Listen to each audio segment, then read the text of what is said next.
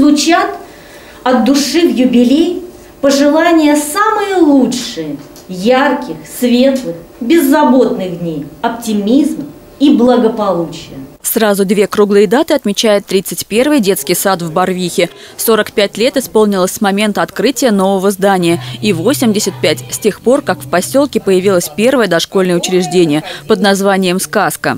Исполняющий обязанности начальника территориального управления Барвихинской Александр Макаров сам выпускник этого детского сада, поэтому официальный визит превратился для него в день воспоминаний.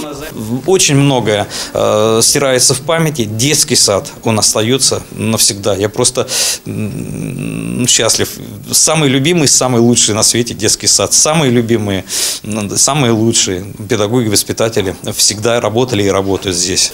Среди приглашенных – педагоги, воспитатели и родители малышей. За добросовестный труд двум сотрудницам, совместный стаж которых в детском саду составил столетие, вручили благодарственные письма от Совета депутатов. А победителю окружного этапа профессионального конкурса «Воспитатель года-2020» Алевтине Ведерниковой, которая также вошла в десятку лучших в Подмосковье, диплом главы Одинцовского городского округа Андрея Иванова. естественно, кубок победителю. Ура!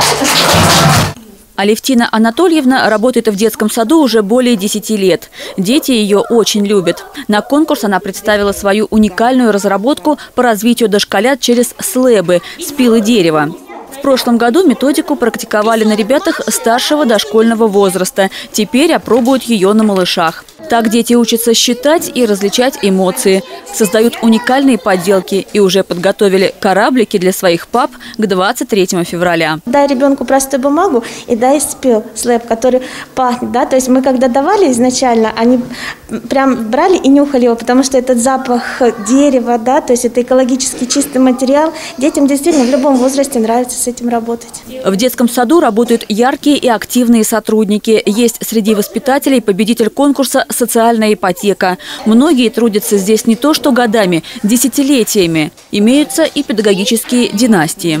У нас сплоченный э, коллектив профессионалов. Родители нам доверяют, а родители нам во всем помогают. А это самый большой плюс нашей работе. Коллектив учреждения планирует и в дальнейшем внедрять в воспитательно-образовательный процесс новые технологии и методики. Помимо основных плановых занятий, с малышами также дополнительно занимаются танцами и вокалом, изобразительным творчеством и робототехникой. Учат кататься на лыжах и создавать уникальные поделки в технике оригами. А во время прогулок с ними играют ростовые куклы – зайчики, лисичка, львенок и собачка. Этим малышам из группы «Золотая рыбка» сейчас по 6 лет. Осенью они пойдут в школу. Сейчас активно готовятся, занимаются математикой, читают и пишут. И ребятам это нравится.